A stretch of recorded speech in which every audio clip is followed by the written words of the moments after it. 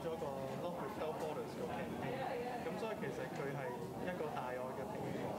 Uh, since we were doing the production in Hong Kong, we were thinking how we can distribute it wisely because since we have seen a lot of news that the underprivileged people or some elderly they were lining up for hours but cannot get any reasonable price mask.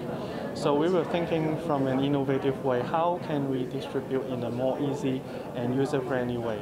But what, what they would need to do just to register and we will give them a QR code card. They can continue for 10 weeks to come and scan the code and can get the, the mask in few seconds.